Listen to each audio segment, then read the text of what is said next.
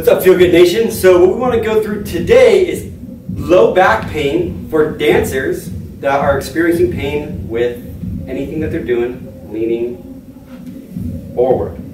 Yeah, so you're flexing a lot here or you've got a lot of repetitive motion and get discomfort here. We're going to show you one exercise in an awesome Tabata format to get you feeling better. So, Dr. Donald, go ahead and explain what we're going to do today. Perfect.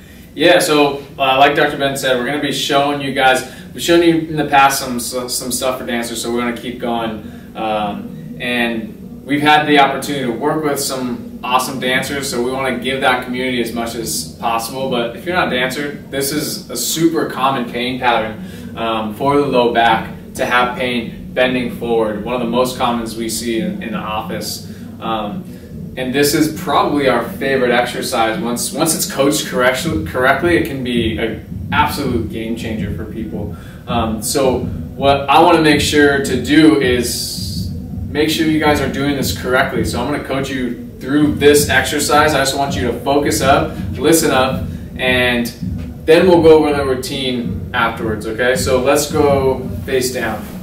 So that's the, the, the first part is going face down, and what I want you guys to do um, so this can be a good starting position, right? To let some things relax. And I don't want you guys to overlook some simple stuff like breathing. Okay, so Dr. Ben, I want you to, to breathe into the ground. And what he's trying to do is, is expand his belly into the ground. And what that actually does is relax these muscles back here, okay?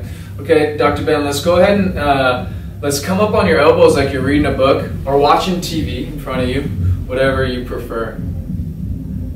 Perfect. And again, this is really important um, to breathe correctly here. So what Dr. Ben is doing, again, same thing as, as before, is breathing into the ground. And again, that's loosening up here, okay? We want the butt cheeks and the low back to be super relaxed. Good. And then now what I want you to do, uh, you kind of heard a noise and you kind of have to check what it is, but you have to see over the coffee table. And I just want you to use your arms. All arms, no back. Very important. Good. Do a couple reps of these. Good. Perfect.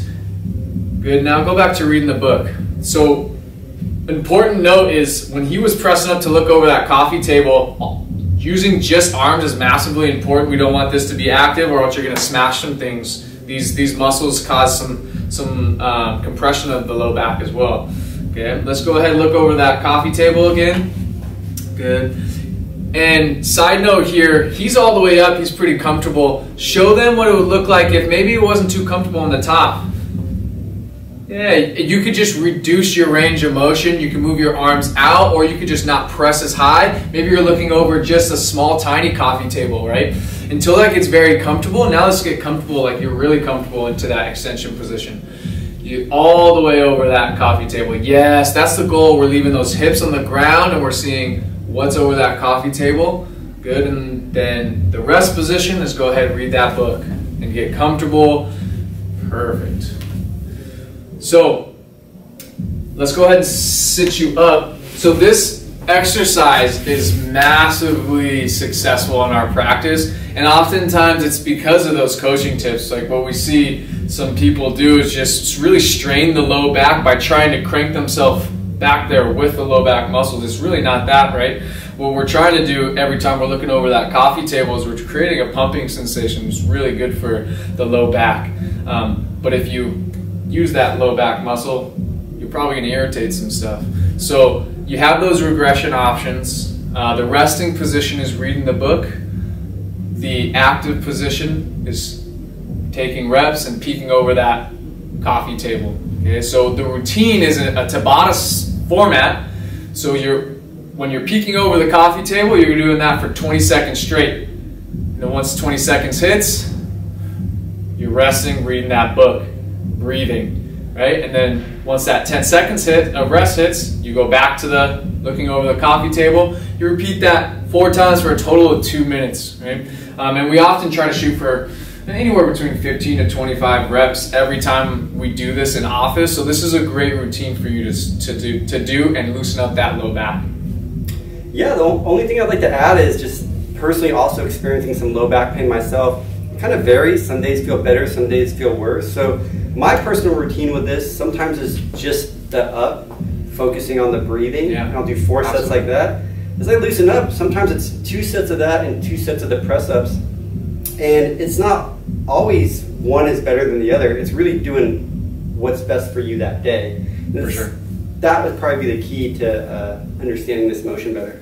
Yeah, and and if this is really successful for you and, and, and helped you quite a bit, um, we would love to work with you. Um, that's a really good sign, and we know that we can help you get back to doing the things you love to do. So shoot us a message whether you're looking at this through Instagram or YouTube.